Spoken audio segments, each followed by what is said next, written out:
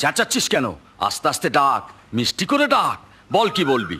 অচল পয়সা। অচল পয়সা? হ্যাঁ গো বাবু। কই দেখি দেখি। দেখো না কেনে। হ্যাঁ হ্যাঁ তাই তো বটে। একেবারেই অচল। কোন শালা দিয়ে গেছে বলতো? কি হলো হাসছিস কেন? অচল পয়সা চালাবার নেগে বাবু মশাই নিজেকেই নিজে গাল দিলেন। বলিস কি রে? না না এই পয়সা আমি দিইনি তাহলে কি ভগবান আকাশ থেকে টুকুস করে আমার হাতে ফেলে দিল লয় তা আমি কি করে জানব? ভোরবেলা ঝগড়া করনি বাবু। সারা রাত জেগে মাল নাই নাইমেছি ফটকে বাবু নাইনে গেছে। একটা পয়সা দিয়ে যায় নাই। মেজার শালা টাঙ্গা পাড়া হয়ে আছে। ভালো পয়সা দাও নইলে শালা এই এই এই চুপ কর চুপ কর। হে তা হবে। হে না দেখে হয়তো অচল পয়সাই দিয়ে ফেলেছি। ঠিক আছে মালটা আমি নিয়েই যাচ্ছি বুঝলি? সন্ধেবেলায় ভালো পয়সা দিয়ে অচল পয়সাটা পাল্টে নেব। সন্ধেবেলা আসব! তোমাকে আসতে হবে নি গো বাবু আমি তোমার ঘরকে যাব খোঁজ ঘরকে যাবি কি রে? পুজোর বাজার এক বাড়ি লোক। ইজ্জত যাবে বুঝি? ধূপছা গায়ের মাথা। জজ মেস্টের যার কথায় ওঠে আর বসে। তিনি নুকিয়ে নুকিয়ে মাল খায় জানতে পারলে। শালা সম্মান চলে যাবে তাই লয়। আচ্ছা চলি সন্ধেবেলা আসব কেমন? আমি থাকব নি গো বাবু। কোথায় যাবি? ঝুমুর গাওনা করতে বায়না আছে। পয়সাটা তুমি বাবার হাতে দিয়ে নি। তোর পয়সা তোর হাতে দেবো। দুধ শালা এর থেকে আমার ঝুমুর গাওনাই ভালো। আমার কানের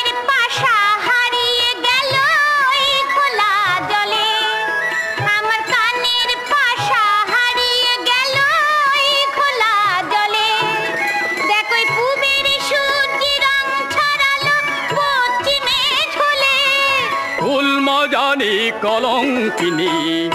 লাজে গেলি মরে লাজে গেলি মরে। জানিস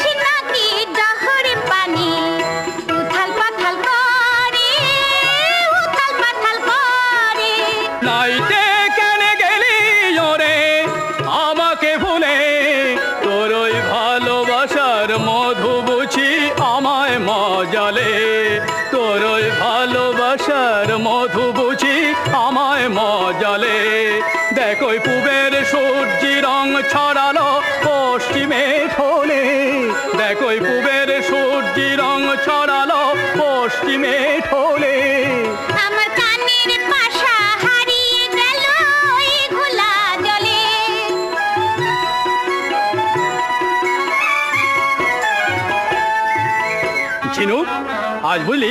আজ ওই গাজন গায়ের আসর না একেবারে একেবারে মাত করে দেবো হ্যাঁ?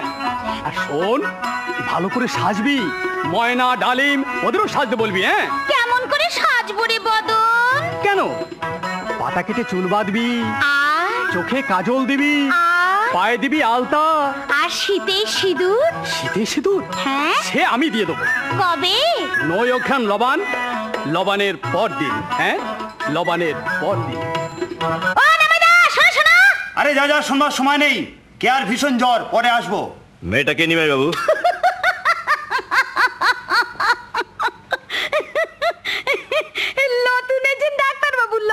হ্যাঁ। দুদিন বাদে তেবে ঝিনুককে চিনবে। তার মানে? আর ওর কথা বাদ দিন তো আপনি চলুন। হ্যাঁ চলুন কাল আমার বিছে কাছটা বাবুর কাছ থেকে ছাই এনে দিও নি মাইদা শালা অনেক কষ্টে এক কুড়ি দু টাকা জোগাড় করেছি। সে বিচে তামাদি হয়ে গেছে আর পাবি না। কেনে? সুর সময় টাকা মিটে দিলে আমার বিছেটা ফেরত দেবে না? কি করে দেবে? সে তো হজম হয়ে গেছে। হজম হয়ে গেছে? নিশ্চয় সুদের টাকা খেয়ে এই যে কেমন আছেন ডাক্তারবাবু আদাব? ভালো। বাণিজ্য বাড়ি যাচ্ছিল জি হ্যাঁ কেয়া দেবী নাকি জ্বর হয়েছে। যান যান তাড়াতাড়ি যান। বড় বাড়ির মেয়ের অসুখ হাসপাতাল উচ্ছন্নে যান। শালা ডাকাত ঝিনুক। শালা বুড়ো শকুন পচা মাংস ছিঁড়ে খায়। কার কথা বলছিস? বাবু মশাই ধূপ শালা অক্ত চোষা বাদুর। শাট আপ ও বাবা গায়ে নেগে গেল। আরে নাগবেই তো। এক নাইনে নখ যে হোয়াট সোয়াইন ডার্টি ডগ আরে যাও যাও শালা ডাক্তার না ফাক্তার। গরিব বাউরির মেয়ে ঝুমুর গাওনা করে মদ তুলে সংসার চালাই বলে কি আমরা মানুষ লই ফটকে যে মারবো এক ধাক্কা শালাই মাতাল মেয়ে ঝিনুকের এক ধাক্কা না? তোমাদের এই বাড়ির যে বাড়ির নোয়ার ফটক শালা ঝনঝন করে কেঁপে উঠবে কে বললে? কে বললে? কে বলে কথাটা? কে বললে? ধাক্কা মেরে বারোজ্য বাড়ি লোহার ফটক কাঁপিয়ে দিবি? আমি গো বাবা মাসা আমি তুই? কে তুই? নাম কি তোর? কেনে গলা শুনে চিনতে পারলে না? আমি কৈলাস বাউরির মেয়ে আমার নাম ঝিনুক। তবে রে হারাম জাদি তবে রে শালা। বারোজ্য বাড়ির বেইজ্জত কর আমি তো বের করে দিচ্ছি এগিয়ে বলছি। ও দুটোকেও সঙ্গে নাও। শালা। এগিয়ে চাঁদুদা কোথায় যাচ্ছেন মাস্টার দা মুসলমান পাড়ায় কলেরা দেখা দিয়েছে। হেলথ সেন্টারে গিয়েছিলাম ডাক্তারবাবুর খোঁজে। গিয়ে দেখলাম তিনি চেম্বারে নেই তিনি বারুজ্জি বাড়ি গেছেন। আমার নাটকে আমি এই কথাই লিখেছি। লিখেছি পুজো হয়ে গেল আজ রাত্রে হবে প্রতিমা বিসর্জন। কিন্তু দেবী বিজয়ের সঙ্গে সঙ্গে বিসর্জনের বাজনা বাজে গ্রাম থেকে চলে যাবে কি শোষক দানবের দল? বাহ বাহ বাহ বাহ বাহ বাহ বাহ। ভেরি সুইট ভেরি সুইট মাস্টারি করেন জানতাম। এখন দেখছি নাটকও লেখে লিখেছি প্রশান্ত। লিখছি এক যুগ যন্ত্রণা নাটক। আমার সে নাটকের নাম দিয়েছি অচল পয়সা। অচল পয়সা? তবে লেখা এখনও শেষ হয়নি। আরও চরিত্র আসবে তারপর। মেয়েটা বারণ করেছিল। ভক্তদা। কিন্তু না উপায় ছিল না। কেন ভক্তদা? কাল থেকে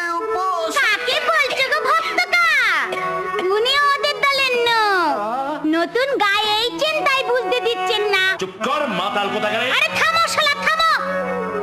মাতাল বলতে এইছে জ্ঞান দিতে এইছে। হ্যাঁ হ্যাঁ আমি মাতাল মদ খাই মদ চলাই করি ঝুমুর গাওনা করি। আমি শালা খারাপ মেয়ে ছোট লোক বাউরি। আর বাবু মশারা সব ভদ্র নখ ভালো নখ ধোয়া তুলসী পাতা। সব শালা এক নম্বরের সতী।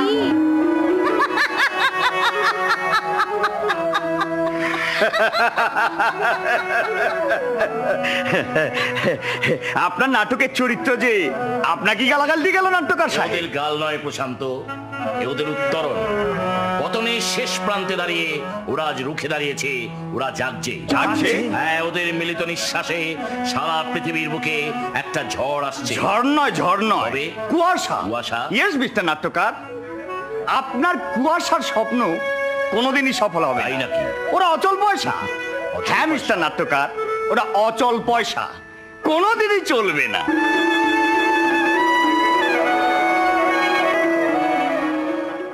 রক্তাক্ত পাখিত ওই টানা ছাপটায় নিষাদের চোখে মুখে বাদবার উল্লাস।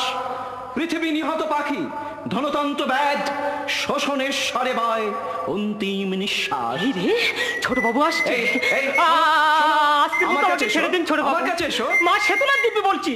আর কোনোদিন আপনাদের বাগানে কাঠকুড়িতে আসব না। সকালবেলায় কাঠ ভাঙছো পাখি মারছো তুমি পড়তে বসবে না স্কুলে যাবে না? ছেলেটাকে ঝিনুকদির ভাই। এই সুয়ার এ কি? ফাদারজি তোকে এই বারুজ্জি বাগানে কোনোদিন দেখি তো জুতো মেরে মুখ ভেঙে দেবো। গেট আউট কলকাতার সভ্য সমাজে মানুষ ডাক্তারি পাস করে তুমি প্র্যাকটিস করছ। অথচ রক্তে তোমার সেই- সকালবেলায় বাউরি পাড়ায় কি ঘটনা ঘটেছে শুনেছো? শুনেছি। প্রসূন তুমি জানো সেই ওল্ড হ্যাকার চাদু মাস্টার প্রশান্ত এ কি বলেছে? দাদা যা তাই বলেছেন। দাদার অসম্মান তোমার গায়ে লাগল না? না। কোথায় যাচ্ছ? ঝিনুক দিয়ার মাস্টারদের কাছে কৈফত চাইতে। কেন তারা ছেড়ে দিল মদমত্ত হাতি? যে দোলেছে ইজ্জত ফসল রক্ত ছাঁচা ভূমি উড়াই দিল না কেন ঘরমাত্র কিষান বিদ্রোহের একটি মাত্র ফুই হাউ স্ট্রেঞ্জ প্রসূনের শেষ পর্যন্ত না না ওকে আর ও পথে এগোতে দেওয়া হবে না। আগে আমি কাকাবাবুকে সব কথা বলব তারপর দেখব কে আর গায়ে একশো তিন ডিগ্রি জ্বর? তাই এই অবস্থা বাগানে এলে কেন? তুমি কদ্দূর আসছো তাই দেখতে? ও আচ্ছা বোকা মেয়ে তো তুমি। হাত দেখে। ও এই বুঝি তোমার জ্বর? হ্যাঁ সেরে গেল। কিন্তু কি সাংঘাতিক ভয় পেয়েছিলাম যেন? এক গাদা পেশেন্ট দাঁড় করে রেখে একেবারে ছুটতে ছুটতে চলে আসছি। ভেরি গুড বয় এমনি করেই আসবে বুঝলে? শিওর আজকের মতো ওই ঝিনুক বাউরি গালাগাল শুনব। এই সমস্ত ওল্ড হ্যাকার চাদু মাস্টারের শিক্ষা। ঠিক বলেছ। দাদার যেমন রুচি ওই চাদু মাস্টারের বোন চন্দানির সঙ্গে প্রেম চালাচ্ছে বিয়ে করবে বলে। অনেক দিনের প্রেম তো। থামো তো। হোস্টেলে ফোস্টেলে এমন কত প্রেম হয়? তাই বলে সেই মেয়েকে বিয়ে করতে হবে এমন কোনো মানে নেই? রাইট নেই তো। চন্দ্রানীর সঙ্গে আমি কোনো সম্পর্ক রাখব না। ছোট লোকের বংশ হারি বাউরিদের সঙ্গে কোনো তফাৎ নেই। এ কে বাবা কোথারে? কেন? আমার একটু দরকার ছিল। ও। কৃষ্ণ হরে কৃষ্ণ কৃষ্ণ কৃষ্ণ হরে হরে। আরে বাহ বাহ। তোমরা সবাই বাগানে বেড়াচ্ছ? খুব ভালো খুব ভালো। খোলা হাওয়ায় বেড়ানো খুব ভালো। বাউরি পাড়া ঘটনা শুনেছেন? জব্বার বললে শুনলাম। শুনে আপনি চুপ করে আছেন? কি করব বাবাজি? আমি নির্বিবাদী লোক। ও কারও সাথেও নেই পাঁচেও নেই। তাছাড়া ওরা অশিক্ষিত মুখ্যু। বাবা! সংসারে কত লোক কত কথা বলে। কটা বাজে ডাক্তার বাবু এসো এসো চন্দ্রনাথ তোমার কথাই হচ্ছিল বুঝলে? কি হলো? আমার কথা জবাব দিলেন না যে যাত্রার কথার জবাব আমি দিই না। দিতে হবে ডাক্তারবাবু কারণ কারণ? উনি বারুজ্জি বাড়িতে চাকরি করতে আসেননি এসছেন হেলথ সেন্টারে ডাক্তার হয়ে। তাতে কি হয়েছে? যান হাসপাতালে গিয়ে দেখে আসুন। অসুস্থ রোগীর দল লাইনে দাঁড়িয়ে কষ্ট পাচ্ছে। আপনি বারুজ্জি বাড়ি বাগান এসছেন চা খেতে আর গল্প করতে। Get out I say you get out কথাটা আমাকে না বলে ডাক্তারবাবুকে বলো কি আপনি কিন্তু সীমা ছাড়িয়ে যাচ্ছেন চাঁদুদা। সীমা অনেক আগে ছাড়িয়ে গেছেন তোমার বাবা। অনেকগুলো বছর ধরে গোটা গ্রামটাকে উনি চিবিয়ে চিবিয়ে খেয়েছেন। পঞ্চায়েত থেকে আরম্ভ করে স্কুলের চাবি কেটে পর্যন্ত হাতে হাড়ি বাউরিরা পেটের দায়ে চোর হয়েছে মদ তুলছে আর মেয়েরা ঝুমুর গান করছে। চন্দ্রনাথ থাক আপনার সঙ্গে দেখা পরে হবে। এখন ডাক্তারবাবুকে হাসপাতালে যেতে বলুন। নইলে? নইলে? থামলে কেন বলো বাবাজি? থামলাম এই জন্য যে কথা না যাকে বললাম তিনি নিশ্চয়ই বুঝতে পেরেছেন। আর বুঝতে যদি তিনি না পেরে থাকেন এরপর তাকে আমি ভালো করে বুঝিয়ে দেবো। কথাটা মনে থাকে যেন। কাকা বাবু বলো বাবাজি। আপনার কথা মতো আমি এখানে চাকরি নিয়ে এসেছিলাম। হ্যাঁ। ভালোভাবেই থাকতে চেয়েছিলাম। হ্যাঁ। কিন্তু এখন দেখছি ছোট লোকগুলোর জন্য আমাকে শক্ত হতে হবে। হ্যাঁ প্রশান্ত হয় আমি ওই চাদু মাস্টারকে দেখে নেব না হয় চাকরি ছেড়ে দিয়ে আমি কলকাতায় চলে যাব। আরে শোনো দিব্যেন্দু শোনো শোনো যাও। চাকরি ছেড়ে দিয়ে চলে যাবে কি? দিব্যেন্দু যেও না কথা শোনো। দিব্যেন্দু দিব্যেন্দু! বোকা কোতাকার দুম করে মাথা গরম করে চলে গেল। যাবেই তো। চাদু মাস্টার গায়ে এসে ছোট লোকদের তাতাচ্ছে তাতাক। ওরা তুলুক না আমার বিরুদ্ধে হাত। ঠাকুরের কৃপায় আমার হাতেই যে ওদের ভাগ কি বলছেন? হরে রাম হরে রাম রাম রাম হরে হরে। আমার বাবাটা একেবারে উজবু। টাকা আর জমি জমি করে মরবে জীবনটাকে ভোগ করতেই জানে না। ঠিক আছে? ভোগ আমি করব। শুধু তুমি একা ভোগ করবে? আমি করব না? বর্দাকে সহজে ছেড়ে দেবো মনে করেছ? বর্দার জন্য তুমি ভেবো না। তাকে জব্দ করে দেবে এই ফটকে মিত্তির। ফটকে মিত্তির? বুঝতে পারলে না? ঝিনুক বাউরি যার সঙ্গে মদের ব্যবসা করে। তার মদের ব্যবসা নাকি বর্দা বন্ধ করে দেবে। তাই নাকি? আচ্ছা আমি এখন আসি। ঠিক আছে ঠিক আছে। সন্ধ্যের সময় দেখা করো কিন্তু। হ্যাঁ নিশ্চয়ই। অনেক কথা আছে। আচ্ছা। এই চন্নাইটা দেখতে বেশ মন্দ না? তাহক তাহক, ও তো কেনা বই। যখন খুশি পড়ব। তার আগে ঝিনুক। বুনো বুনো গন্ধ। মাল খেয়ে যা দেয়ালা করছিল মাত্র হাঁটু জল। এক বুক মুক্ত নিয়ে পড়ে আছে ঝিনুকটা। পাহারাদার ফটকে মিট্টি তাকে সরিয়ে ও ঝিনুক। ঘরে আনাজ নেই মশলাপাতি ফুরিয়ে গেছে। আমি যে এখন কি করি? ওগো শুনছো? না বাবা সবে তৃতীয় দৃশ্য ধরেছেন। লিখুক সারাদিন তো গ্রাম সেবার কাজে ব্যস্ত থাকেন। আর ঠাকুরপো যে কোথায় যায়? কোথাও যায়নি দেবী। ঠাকুরপো? আশ্চর্য মানুষ আমার দাদা। সকাল থেকে সেই যে লিখতে বসেছে আর ওঠার নাম নেই। খেলা আছে বুঝি? খেলা আছে মানে? দারুণ খেলা। কীরকম? কুসুমপুরের সঙ্গে আমাদের ম্যাচ। আচ্ছা খেলতে যাবে কখন? ভাত খেয়ে। শুধু ভাত খেতে পারবে তো? তার মানে? আনাজপাতি মশলা তো বাজারে। তোর ছাই ভালো লাগে না। কোথায় মুড নিয়ে একটু খেলার কথা ভাববো? তা না যাও এখন বাজারে। কেন এখন আলু বেগুন মূলো উচ্ছে। দাও থলে আর টাকা। আচ্ছা এই নাও থলে হ্যাঁ। আর এই নাও টাকা। কিন্তু দোহাই বৌদি আজ যে আমি খেলতে যাব দাদা যেন জানতে না পারে। আচ্ছা, ঠিক আছে। জানতে আমি নিশ্চয়ই পারব। দাদা জানতে পারলে আমি পুলিশে খবর দেবো। পুলিশ এসে তোমাদের সবাইকে অ্যারেস্ট করে নিয়ে যাবে। ধূপছা গ্রামে এসব হতে দেবো না। কি ভেবেছো? কি ভেবেছো তোমরা সব? এই পর্যন্ত লিখে আটকে গেছে। সামনে দুটো পথ। একটা থানা একটা বাড়ি কোন দিকে যাব? দয়াল কাকাকে অপমান করেছ দিব্যেন্দু ডাক্তারকে অপমান করেছ এমনকি প্রশান্তকে তুমি যাতা বলেছ কেন? প্রশান্তকে চিনিস না চন্দ্রানী? খুব চিনি। চিনিস? সে আমার বন্ধু। হ্যাঁ? তার সম্পর্কে কোনো কথা তুমি আমার সামনে বলবে না। কি? বললে বর্দা বলে আমি তোমার সম্মান রাখতে পারব না। ব্যাপার কি বলতো দাদা? তৃতীয় দৃশ্যের শেষটা অন্যভাবে লিখতে হবে রে। আচ্ছা। যে চরিত্র নিয়ে আরম্ভ করেছিলাম তা থাকবে না। সমবেদনার ব্যথা নিয়ে আসবে না কোনো ক্যারেক্টার আসবে লাল চোখ নিয়ে উদ্ধত সমাজ বিরোধী স্বার্থপর চরিত্র। মাস্টার বাবু দেখ। আমি ফটকে আরে এসো ফটিক এসো ফটিক এই যে এসো। মাস্টার বাবু আছেন দেখছি। হ্যাঁ, আছি। কিছু বলবে ফটিক দা? দাদা বলবি না। ওসব ভালোবাসার কথা শুনতে আমার সালা ভালো লাগে না। তা আপনি সালা বাউরি পাড়ায় যে কি সব লেকচার দিয়ে এসেছেন? লেকচার দিয়েছি? আপনি নাকি ঝিনুকদের বাড়িতে গিয়ে বলে এসেছেন মদের ব্যবসা বন্ধ করে দেবেন? হুম বলেছেন এইসব কথা। হ্যাঁ বলেছি। কেন বলেছেন মশাই? আপনি বলবার কে? আপনি জানেন সালা ফটকে মিত্রের মদের ভাটি আছে বলে এই অঞ্চলে ধূপছা আগার এত নাম। শুনলাম। শুনুন ভালো করে শুনুন স্যার। ও সালা প্রশান্ত মৌর্যের সঙ্গে যা করছেন করুন। আমার সঙ্গে লাগতে যাবেন না কিছু আইন হয়ে যাবে। ঠিক। মাস্টারি করছেন করুন। আমার ব্যবসার উপর হামলা করবেন না। আমার মদের ভাতি আছে থাকবে। যেমন চলছে চলবে। ক্ষমতা থাকে তো। বলো থামলে কেন? কি হলো? বলো কি বলতে যাচ্ছিলে?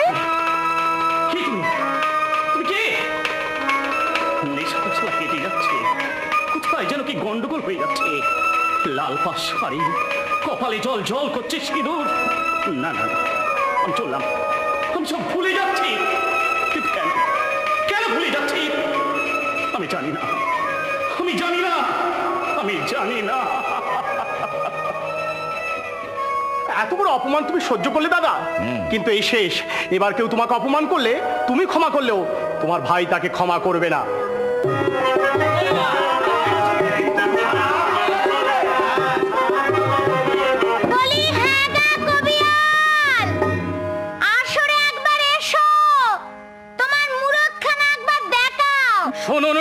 বাবু মশাই, শুনুন ভদ্র জন। ঝুমুর কবির পাল্লায় আজি করিব কীর্তন। প্রথমে বন্দিলাম আমি দেবী সরস্বতী। সবশেষে বন্দি আমি ঠাকুর গণপতি। বাবু মশাইরা, আপনারা শুনুন। ও বলছে, আমার নাকি মুরদ দেখবে। ওরে কালো বেড়াল, টপকে দেয়াল, নামলো তোদের বাড়িতে। শুনলো ধনি ক্ষীর নবনী রাখিস না আর হাড়িতে।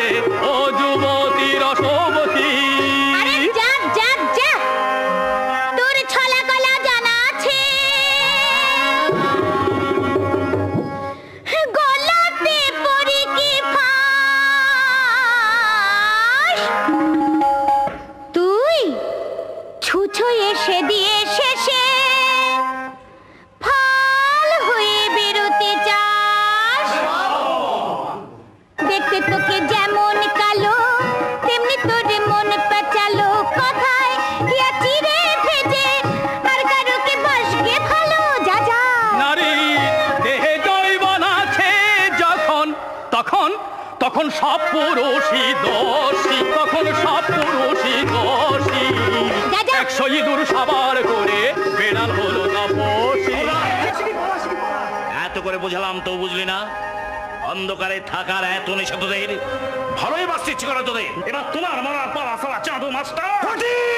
একজন এলো। দুজন এলাম মাস্টার দা। দুজন। আরও একজন এসেছে। তিনজন। তিনজন? এরপর আসবে তিনশো তিন হাজার তিন লাখ তিন কোটি। কোটি কোটি শোষিত মানুষের দল তোদের বঞ্চনার কারাগার ভেঙে চোর মার করে দিয়ে যাবে।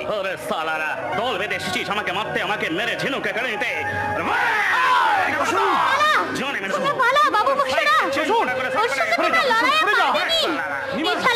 বাবু টাকা দিয়ে আমার সংসার চালিয়ে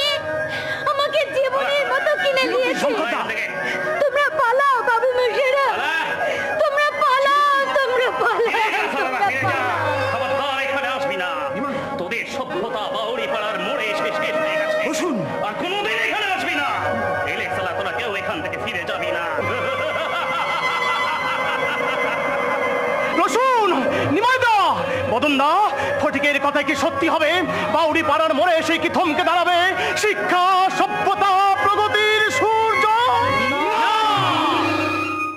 ফটকে মিত্তির আসছে। হ্যাঁ ফটকে মিত্তির? হ্যাঁ। ফটকে মিত্তির মানে মানে কলকাতার সেই জীবন মিত্তিরের সেই যাদব ছেলেটা। সেখানে আসছে কেন? আমি ডেকেছি। আজ তাকে পাঁচশো টাকা দিতে হবে। একটাও পয়সা নেই বাবা? সে তো একটা সমাজ বিরোধী লম্পট গুন্ডা। সেই জন্যই তো আজ তাকে সবচেয়ে বেশি দরকার। চাদু মাস্টার গ্রামে রাজত্ব করবে আর আপনি মুখ বুঝে সহ্য করবেন। কি করব? সমস্ত সমাজ বিরোধী আমরা এক। চুপ!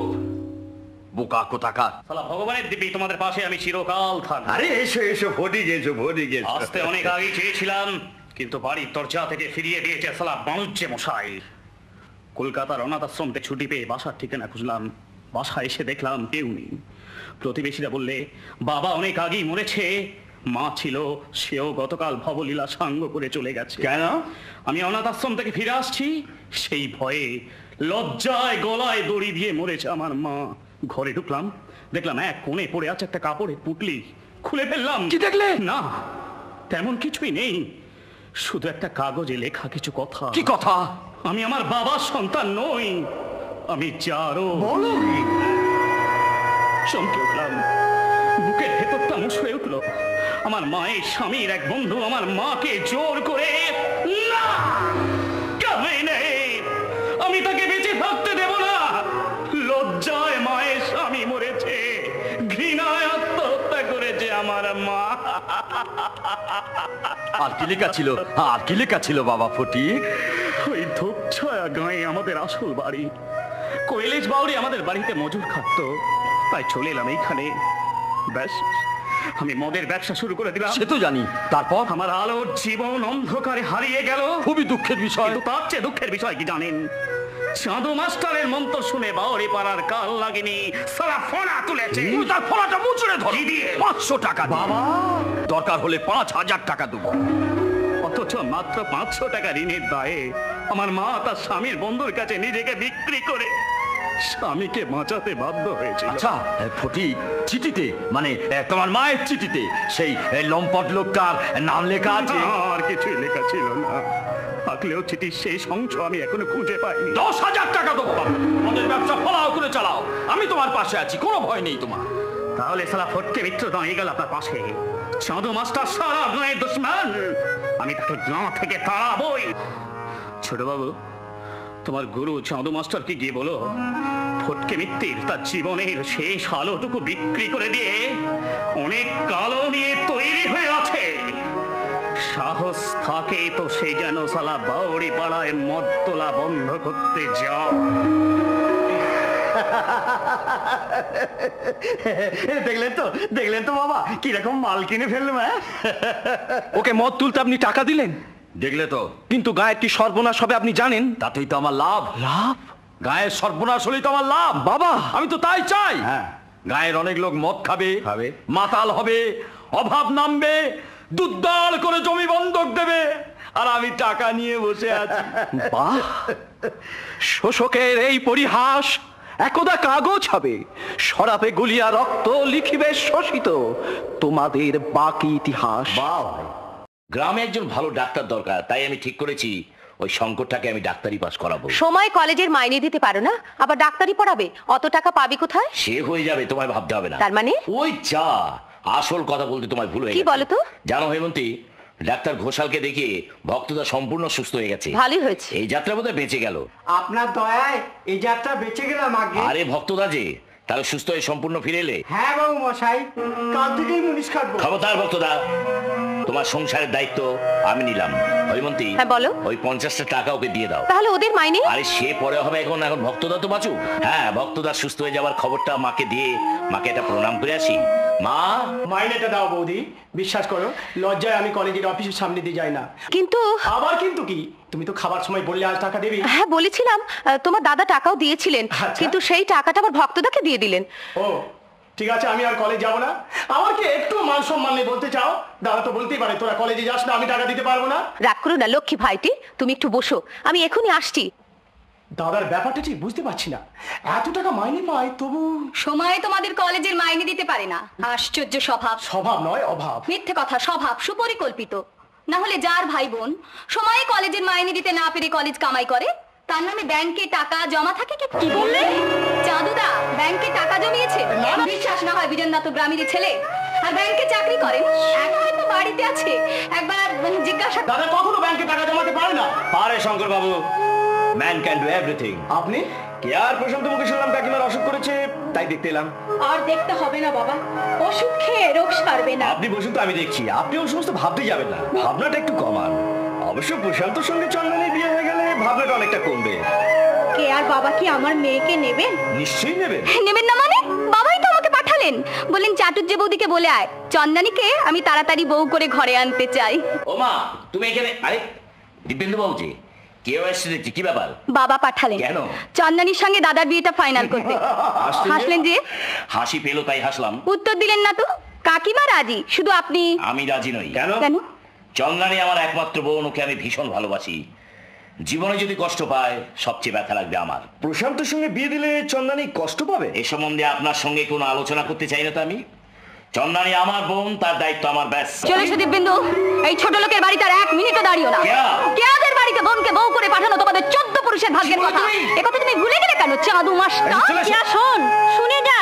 আমি প্রশান্ত কি বিয়ে করব? ঠাকুর কি বলছো তুমি? আচ্ছা হৈমন্তী আমি কি স্বপ্ন দেখছি? হ্যাঁ সত্যি তো। এতদিন ধরে আমাদের ফাঁকি দিয়ে অনেক স্বপ্নই দেখে এসেছি। আমি তোদের বড় ভাই। সৎ ভাই বলি ভেতরে ভেতরে আমাদের ফাঁকি দিয়ে ব্যাংকে তিন হাজার টাকা জমিয়ে রেখেছি। সত্যি? ঠাকুর বলো দাদা। ব্যাংকে তিন হাজার টাকা তুমি কেন জমিয়েছো? সে কই ফিরত আমি তোকে দেবো না। কেন দেবে না? আমি সব ভাই ছাড়ার কেউ নই। তো মায়ের সঙ্গে বেরিয়ে যা। কর। আই সে সম্পর্ক শেখাও তাহলে সবাইকে আমি মেরে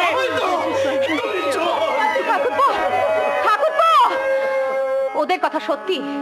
সত্যি তুমি ব্যাংকে তিন হাজার টাকা জমিয়েছো? বলো সত্যি ওদের কথা? হ্যাঁ সত্যি। কেন? টাকা আমি জমিয়েছি সত্য। কিন্তু কেন জানো? কেন গো? ওই সংকটটাকে ডাক্তারি পাস করাবো বলে। কি বলে? আমার নিজের মুখের হাসি চুরি করে আমি সংকটটার জন্য জমিয়ে রেখেছিলাম। তাই আমার চেয়ে বোকা বোধহয় পৃথিবীতে আর কেউ নেই হৈমন্তী।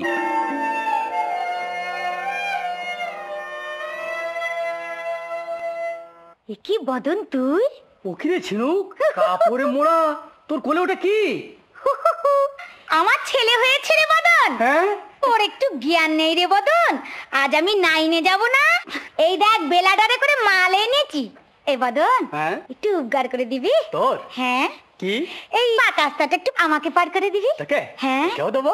সব সতীকে পার করিতে নব আনা আনা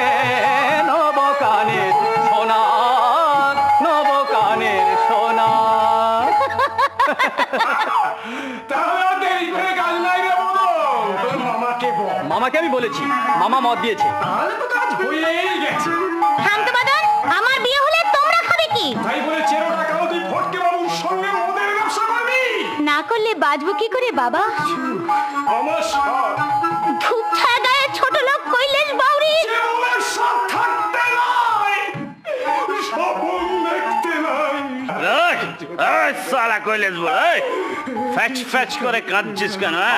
ফটিক বাবু একটু ভালোভাবে কথা বলো। আরে সালা আরে বদনা আরে সালা প্রেম করতে এসেছিস? মারবো সালাকে এক লাখ সালা কোলা ব্যাঙের মতো পেট ফাটায় মরে যাবি। এলে ঝিনুক তোর আগাম ছ মাসের টাকা। ছ মাসের আগাম? হ্যাঁ দাদন নে টাকা ধর।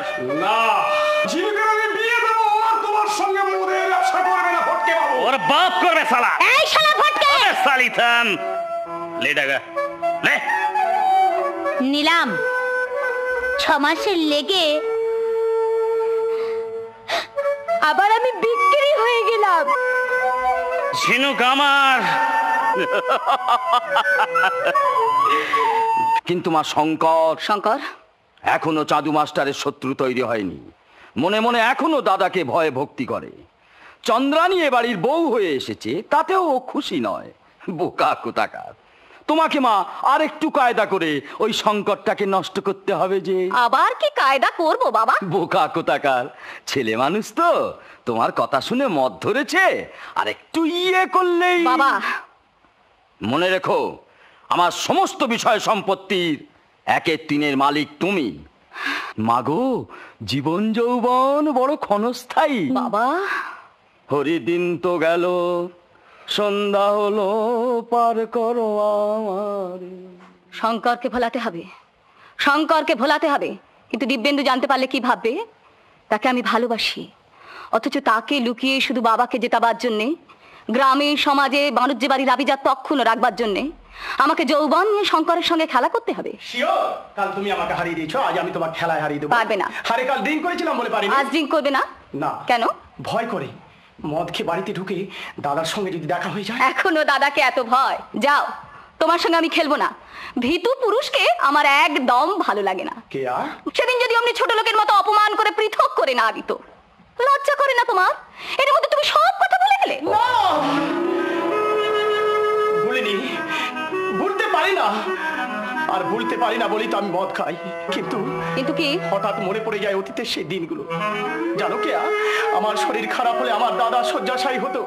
সারা রাত শিওরে বসে আমার মায়ের মতো আমার মাথায় হাত বুলোতো। আমার বৌদি। সে তো তাদের অভিনয় ছিল। তার মধ্যে কি আমার মতো প্রাণীর স্বাদ ছিল? চমৎকার! হে কি? তুমি কলে যাওনি? কি হলো? উত্তর দিচ্ছ না কেন? আমি তাহলে মাঠে যাচ্ছি কে তুমি র্যাকেটটা নিয়ে তাড়াতাড়ি এসো। ডাক্তার দা খেলবেন তো? আসুন। খেলবে? আর কতদিন আমাকে নিয়ে খেলবে কেয়া? তার মানে? মানে জিজ্ঞাসা করতে লজ্জা করছে না তোমার? দুদিন বাদে তুমি না হবে আমার স্ত্রী? হবই তো। কি হলো? কি ভাবছ? ভাবছি কি আমি করব আর কি আমার করা উচিত। তুমি শঙ্করকে নিয়ে আমার ব্যাপারটা ভাবছ তো?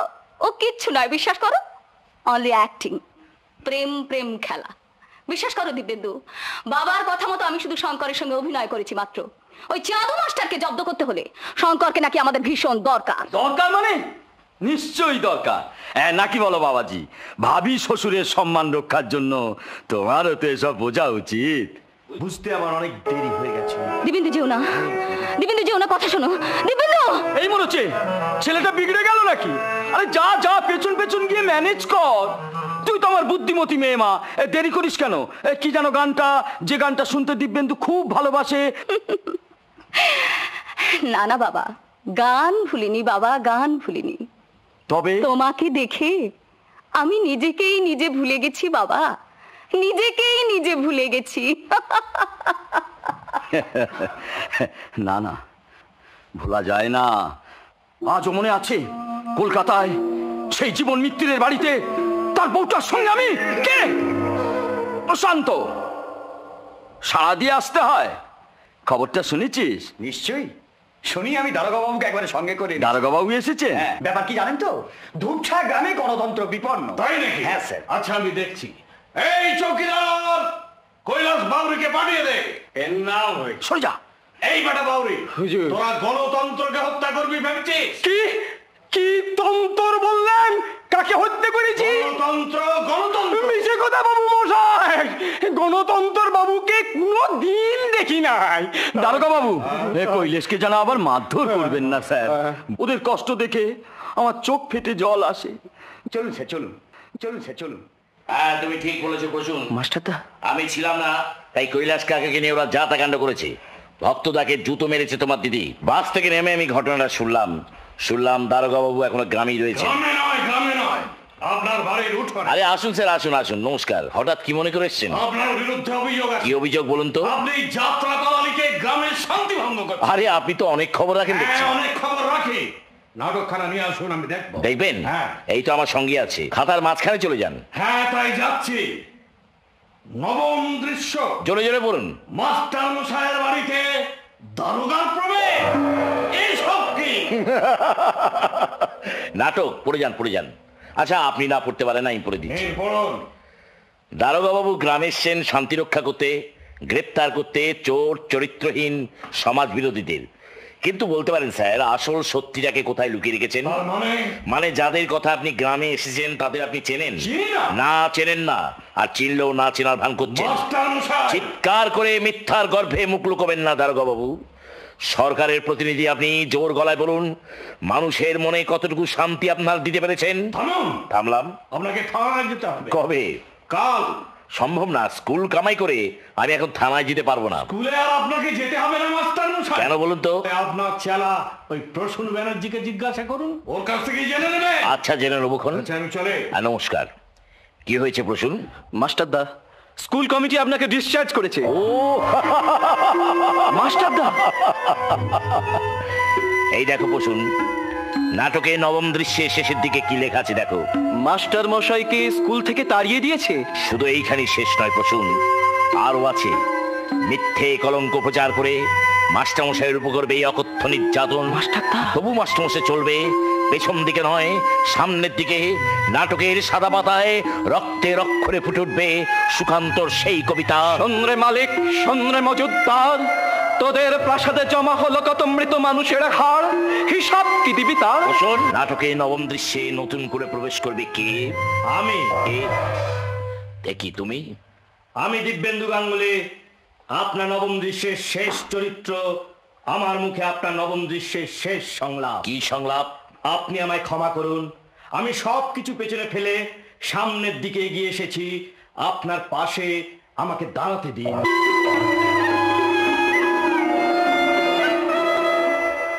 স্কুলে চাকরি চলে যাওয়ার পর ভেঙে পড়েছিল মাস্টারদা সংসারে দারুণ অভাব। তাই মাস্টারদা যে নাটকটা লিখছে আমি এক জায়গায় পাঠাবো ঠিক করেছি। কোথায় ডাক্তার বাবু পরে বলব। না আজই বলুন বসে বসে বলুন। অনেকক্ষণ থেকে দাঁড়িয়ে আছেন। বসুন এখানে। ওটা কি? আমার স্লেট আমি লিখেছি। দেখি দেখি কি লিখেছো। এ- এই দেখুন। I G eight T light light মানে কি ডাক্তার বাবু ও কি? অমন করে মুখের দিকে কি দেখছেন? আলো। আলো? হ্যাঁ আলো। অন্ধকার করে দেব আলোটা ফুদিয়ে নিভিয়ে দিয়ে। কেয়া? স্ট্রেঞ্জ শেষ পর্যন্ত তুমি মাতাল বাউরি মেয়ে ঝিনুকের প্রেমে পড়ে পাগল হয়ে গেলে। তোমরা কি মনে করেছ পৃথিবীর সব মানুষগুলো তোমার মতো? ডাক্তার। ডাক্তার আমি। সেবামন্ত্র পাঠ করে তবে আমি ডাক্তারের সার্টিফিকেট পেয়েছি। আমার সেই সেবার প্রতিজ্ঞা ভুলিয়ে আমার মানবিকতাকে টুকরো টুকরো করে কেটে তোমরা খাবার বানিয়েছিলে। তাই ঝিনুকের অজ্ঞতাকে আমি শ্রদ্ধা করি। আর তোমার শিক্ষা রুচি চরিত্র বর্তমানে আমার কাছে just like a dustbin Hold your tongue, you son of a bitch! Further, you will never come to my house. I hate you! Because you are just a dog to me. কেয়া? কেয়া তোমার কথা জবাব শুনে যাও কেয়া। নায়িকার সঙ্গে ভিলেনের শেষ বোঝাপড়াটা সারতে এলাম। বোঝাপড়া তো আগেই হয়ে গেছে ফটিক বাবু আরে সালা কি মিষ্টি কথা। লেখাপড়া শিখে সালা ভদ্রলোক হয়ে গেছিস মনে হচ্ছে? ভদ্র হয় তো উচিত। ভদ্র হওয়া চলবে না। দুনিয়ায় সালা কোনো লোক ভদ্রলোক নয়। ভদ্রতা তাদের শয়তানের মুখোশ। সভ্যতা তাদের সর্বনাশ করার নামাবলী। তাই ভদ্রতাকে আমি ঘেন্না করি। সভ্যতার মাথায় আমি থুতু ফেলি। আমি সমাজ বিরোধী। আজকে সমাজ আমি ভেঙে চুরমার করে দেব। সভ্য ভদ্র সমাজের মুখে তাজা রক্ত উঠবে। চল তোকে নিয়ে সারা রাত কুস্তি করব। খবরদার এক পায়ে এগোবে না বলে না! তাহলে দুনিয়া থেকে তোকে একদম ফিনিশ করে দেবো সালি।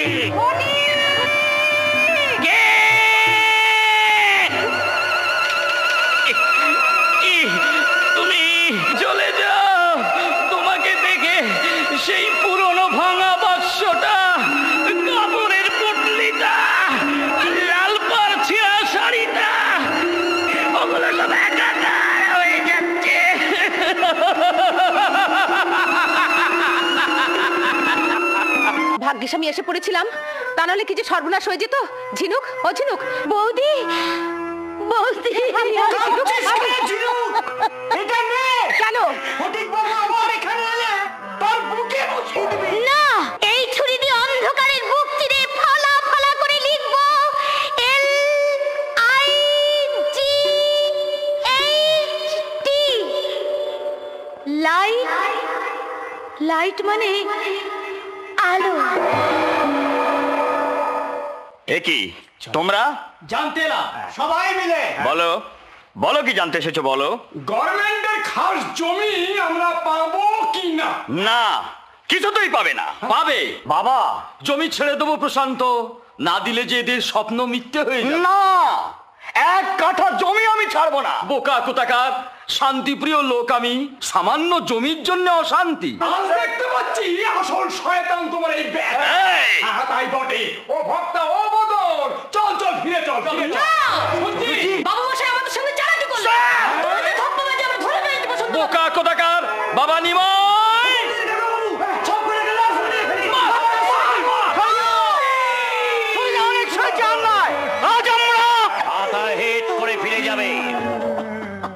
মাস্টার দা? ওরা পোষা গুন্ডা দিয়ে সূর্যর মাথা ফাটিয়েছে। তোমরাও কি ভাড়া করা গুন্ডা? পয়সার বিনিময়ে লড়াই করতে এসেছ? না। তবে কেন এসেছ তোমরা? ভিক্ষে চাইতে। জমি বাবুরা ভিক্ষে দেবে। দয়া করবে যোদ্ধার মহাজনদের দল। যাও ফিরে যাও তোমরা। যাওয়ার আগে শুনে যাও। জমি বাবুদের ফেরত দিতেই হবে জমি বাবুদের ফেরত দিলেই হবে। জমি কেন রে কুকুরের বাচ্চারা কত রক্ত? মানুষের রক্ত? এই রক্ত আমার? নিমাই আরে কি হয়েছে তোর কি হয়েছে? কি প্রশান্ত! ফের বলছি প্রশান্ত ওর একটা কিছু ব্যবস্থা করো বাবা নইলে আমাদের সর্বনাশ করে। থামো তুমি ওর ব্যবস্থা আমি করবই ঠিক আছে কিন্তু দেখিস বাবা যেন লোক জানাজানি না হয়। কেউ জানবে না। কাল সকালে ধূপসা গ্রামের লোক দেখবে ক্যানেলের জলে ভাসছে নিমাই বসে ডেড বডি। দাদা শিগগিরই ছুটে যাও। কোথায়? পশ্চিম পাড়ায়। কেন? শুনলাম ফটিক পিস্তল নিয়ে বেরিয়েছে কাকে মারবে বলে। না ওরা বড্ড বাড়াবাড়ি শুরু করে দিয়েছে। ঝিনুক দাদা। তোর বৌদি দিলে বলবি আমি গেলাম। ফটিক কি পাগল হয়ে গেল? ওগো তুমি বলেছিলে যে ও গাছে ফুল ফুটবে না? বলেছিলাম আমি বলেছিলাম নিশ্চয়ই ফুল ফুটবে। এই দেখো কি সুন্দর ফুল। ও কোথায় গেল? দাদা একটা কাজে বেরিয়ে গেল বৌদি। চলে গেল না? চলে গেল? আমাকে একটুখানি জন্য অবসর দিয়ে গেল না? বৌদি। কতগুলো বছর? অনেক অনেক দিন। একটি মাত্র সন্ধ্যা। ছোট্ট একটা মুহূর্ত। পেলাম ছিনু বৌদি। আমি কি পেলাম? বৌদি কি হলো? শিগগিরই আসুন ডাক্তার বাবু বৌদি অজ্ঞান হয়ে গেছে। অজ্ঞান হয়ে গেছে? সর্বনাশ বৌদির শরীর যে অবস্থা অজ্ঞান হয়ে গেলে ঝিনুক? কি যে হবে? হৈমন্তী ঝিনুক খুব সাবধানে বিছানা নিচ্ছে তো ভীষণ ঘামছেন। হৈমন্তী দেখো আমি একটা কথা বলতে কি? হয়েছে হৈমন্তী বৌদি আনকনসিয়াস হয়ে গেছে। কি? হৈমন্তী সাইলেন্ট কথা বলবেন না। বৌদি সিরিয়াস পজিশন কোরামিন দিতে হবে। ঝিনুক খুব সাবধানে নিচে তো এক্ষুনি বিছানায় শুয়ে দিতে হবে। আস্তে আস্তে নিয়ে চলুন।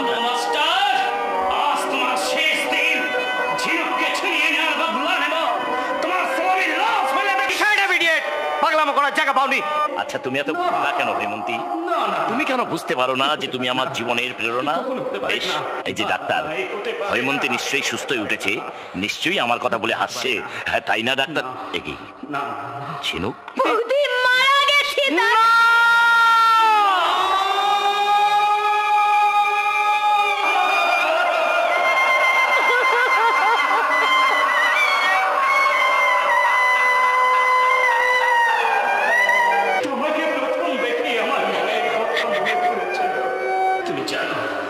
তুমি জানো সালা চাঁদু মাস্টার তুমি কি করেছ? কি করেছি? তুমি সারা জীবনটাকে মনে করেছিলে নাটক। ফটিক। তাই অন্ধের মতো পেছন পানে নাচে সামনের দিকে এগিয়ে যাচ্ছি। তুমি সালা পরকে দেখেছ কিন্তু নিজের ঘরকে দেখো। এসে গেছে বাবু মশাই পেয়েছিস হ্যাঁ। হ্যাঁ এই তো এই তো সেই কাপড়ের পুটলি। অনেক কষ্ট এই তো সেই ভাঙা সুটকেস ওরে আমায় খুঁজে দেখতে হবে। চিঠির বাকি অংশটা আমার চাই।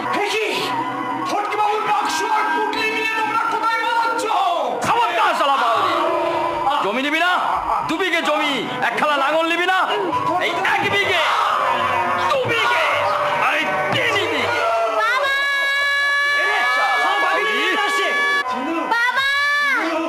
আয় বলছি শয়তানি। আমার চিঠি আয় আমার সাথে। আয় বলছি।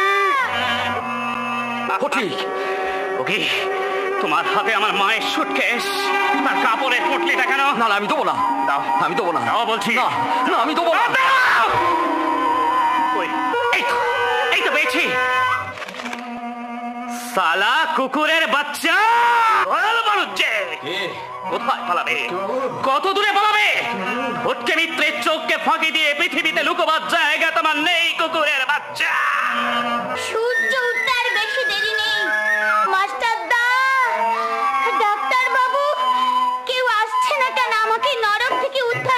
জানলে তো আসবে। আর এলেও সবার ফিরে যাবে না। নিমাই বসে লাশ ক্যানেলের জলে ভাসছে। আমি নিজের হাতে তাকে গুলি করে মেরেছি। এখানে যে সাল আসবে একদম লাশ বানিয়ে ফেলব। আয় বলছি কি? তুমি এসেছ। মাস্টার তুমি এসেছ?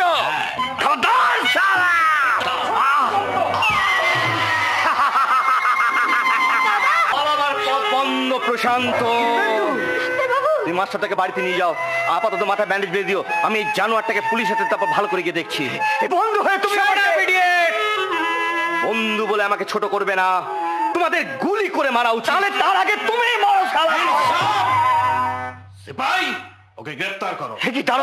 চেষ্টা করবেন না পালাবার চেষ্টা করবেন আপনার বাবা কোথায়? আমি জানি না। হ্যাঁ আমি পেরেছি। নদীর ধার দিয়ে গ্রাম ছেড়ে পালিয়ে যাচ্ছিল। ছেড়ে দে। আমি বাঘের মতো ঝাঁপিয়ে পড়েছিলাম। ছেড়ে দে। মেরে ফেলতাম। কিন্তু মনে পড়ে গেল মাস্টার মশাই কথা। তাই আইনের হাতে তুলে দেওয়ার জন্য আমি নিয়ে এসেছি। বিচার করুন স্যার। আপনি বিচার করুন। এই দয়াল বাণিজ্যের অত্যাচারে আমার জীবনটা মিথ্যে হয়ে গেছে। এই দেখুন স্যার। এই দেখুন আমার মায়ের চিঠির শেষ অংশ। এই ময়লা কাগজ এই কাগজের মধ্যেই আছে। হতভাগ্য ফটিকের জন্মের কাহিনী।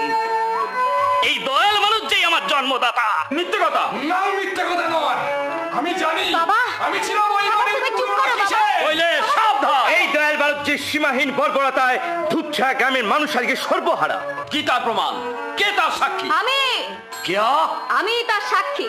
তোমার সমস্ত পাপ কার্যের প্রমাণ আমার হাতে। সিপাই ওকে গ্রেফতার করো। আমার কাজের দায়িত্ব আমি সূর্যকে দিয়ে যেতে চাই। সূর্য আগুন বুকে নিয়ে ওর জন্ম।